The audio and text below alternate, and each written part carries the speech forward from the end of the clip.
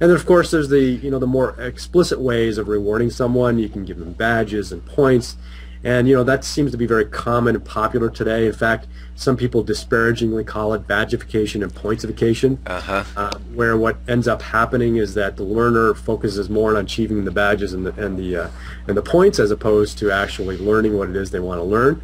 Um, So it sounds like it sounds like you don't like the badgeification very much. Well, you know, we recognize the uh, the value of it if it's used properly, and so we do use it, um, but we use it in a very effective way in that we only reward badges when someone actually demonstrates specific performance, um, and a performance that you know that they can internalize and realize, okay, I earned that because I did this correctly, not because I just did something, but because I did something correctly.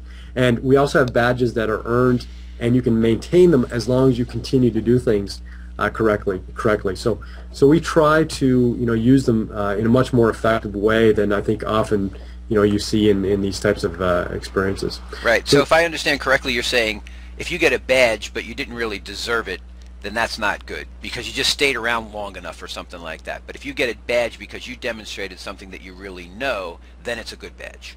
Th- That's right. From a learning objective perspective, from an entertainment perspective, you might want to keep throwing badges at people just to keep engaged. Uh-huh. Although there are some, you know, there are consequences to doing that too, and that you know the, the player doesn't feel that they've earned, and if the player doesn't feel as though they've earned it as much, they may not, you know, engage with the game. So, you know, a lot of these theories are still up uh, up in the air today in terms of how they work best, uh, and some people are trying to analyze them individually. You know, they're trying to analyze badges individually, points individually. I don't think you can really do that. I think it has to be analyzed collectively in the context of the experience that you're delivering. And uh, but anyway, that's uh, that's that's another aspect Right. of it. Okay. So these rewards are they're motivating, and you, you talked about the kind of the the little rewards of um, of badges and points and that sort of thing. Are there other are there other sort of little rewards that you show people along the way? And I know the big reward is going to be your assessment eventually, but what's what's the, That's what are some of the little ones? Well, of course, you know, if you're running a business, um, we try to measure and report on a number of important issues. So, of course, the most important one that people will focus on is money. You know, do you have money? Because if you don't have enough money, you're going to go bankrupt. And in our simulations, we, you know, you do actually go bankrupt. That doesn't mean it was a bad learning experience because now you've learned something effective and maybe next time you'll be successful.